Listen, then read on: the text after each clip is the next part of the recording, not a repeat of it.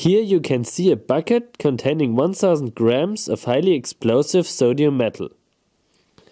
On there it states that it is for professional use only. So today we are going to use it very professionally by dropping it in water all at once. The sodium metal is stored in mineral oil to protect it from the atmosphere. So before we could start, I had to clean this thoroughly with lots of paper towels. Ich habe er so gar keine Vorstellung, was mich da erwartet, muss ich sagen. Because performing this reaction is obviously very dangerous, we had to design a special contraption to do this safely. So we bought a 50 liter transparent plastic container, filled it halfway with water and placed it on a bucket. To that container we taped a string so we were able to push it over from a far distance. I then used a net and some strong tape in order to secure all of the sodium metal on the inside of the lid of the Ja, container. wir tun ja hier wirklich niemandem was zuleide.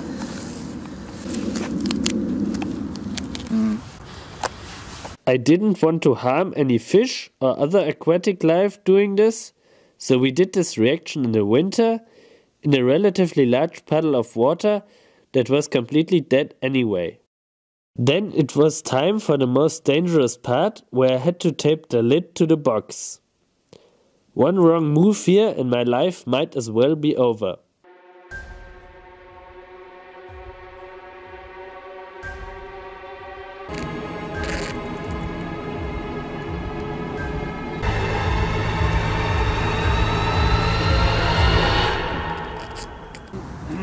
After the lid was taped on, it was time for the fun part. Kaboom! Yes, Rico. Kaboom. All that was left to do was to pull the string and enjoy the show. Drei. Ist hier niemand? Drei, zwei, eins.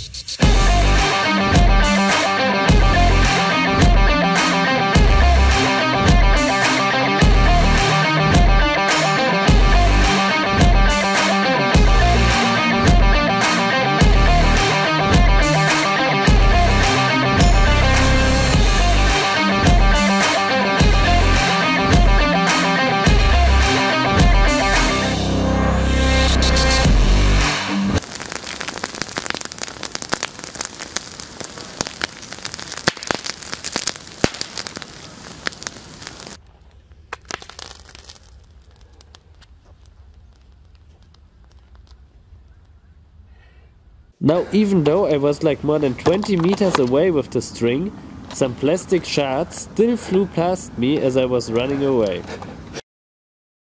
You can safely say that this isn't safe and that you should definitely refrain from repeating this or anything similar. So, the sodium bucket shown in the beginning could also be marketed as Warzone in a bucket. Everything that wasn't nailed down solidly got blown up. The bucket and the box used for the contraption completely kicked the bucket. We also scared a poor deer a little bit. In the slow-mo you can see a million shards from the box and bucket flying in every direction. What is even more crazy is that this huge explosion was only about half of the sodium metal reacting. You can see in the slow-mo how some of the metal got exploded out of the water. When collecting all the shards from the plastic container, we could recollect over 400 grams of the initially used 1000 grams of sodium metal. So this huge explosion was actually only 500 grams of sodium reacting with water. The reaction continued for quite a while, and a couple minutes later we saw the last explosions happening.